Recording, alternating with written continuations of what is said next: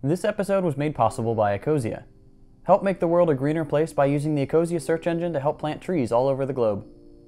A few years ago, I worked in retail selling cameras. One of the first conversations I had with a coworker was, what if any given number didn't exist? How would that change things? Would it ruin mathematics and various fields of science? The consensus was it would really only matter if that number were suddenly banned after already existing in calculations and measurements. It wouldn't really change anything if it never existed, because it wouldn't be missing from the sequence. Numbers would just proceed without it. But there's another number that actually didn't exist for the longest time, and when it showed up, it changed everything. The number zero has been a critical part of mathematics for hundreds of years, but it didn't start out that way.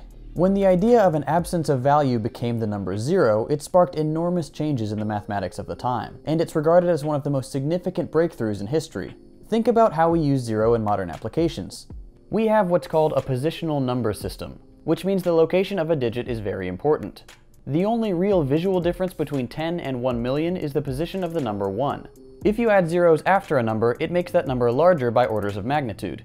If you add zeros before the number, it makes it smaller by the same degree. The idea of zero as a placeholder allows for much greater precision than was previously possible. As bizarre as it seems to us, the people of the past went thousands of years without the number zero. Around 7,000 years ago, the Sumerians used a system that incorporated a placeholder symbol or a blank space which indicated the lack of a value. So 501 would be written 5 blank 1 or 5 symbol 1. The interesting part about this system was the symbol was never used at the end of the number, so the only way to differentiate between 5 and 500 was context.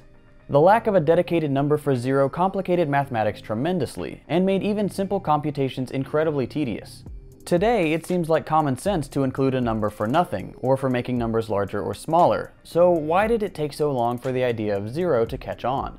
Strangely enough, it wasn't a lack of creativity that prevented the implementation of the number zero. It was the stigma associated with the idea of nothingness. The ancient Greek thinker Parmenides was of the opinion that nothing cannot exist, since to speak of something is to speak of something that exists. Europeans held negative views about nothingness because to the religious leaders of the time, everything that existed was because of God, and anything that did not exist must be without God, and therefore the work of the devil. To protect the people from the evil works of Zero, its use was promptly banned, but merchants kept using it in secret because it made tracking their business much easier. These negative views on nothingness weren't always present in other regions. In some Eastern societies, such as in Buddhist groups, the idea of nothingness or emptiness is actually a good thing and a critical step on the road to nirvana.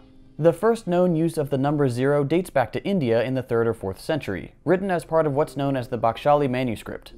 Its usage slowly spread to other parts of the world, and more quickly to China and the Middle East, but it took a full thousand years for the concept of zero to take hold in Europe. Fibonacci, the Italian merchant who played a critical role in bringing the decimal system to Europe, said, The method of the Indians surpasses any known method to compute. It's a marvelous method. They do their computations using nine figures and the symbol zero. When zero took its rightful place among the other numbers, it opened multitudes of new possibilities.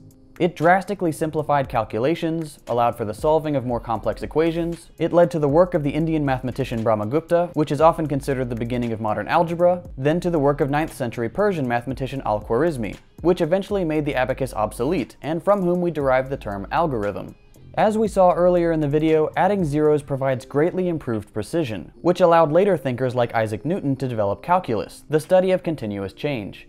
These three pillars of modern mathematics, algebra, algorithms, and calculus, all owe their existence to the invention of a symbol to represent nothing. Over the years, zero would become even more useful, forming the basis for electronics and computers, allowing for the notion of infinity in theoretical mathematics, the idea of a vacuum in quantum physics, and innumerable other applications that we take for granted today. So the next time you're having a bad day and think nothing matters, you're absolutely right.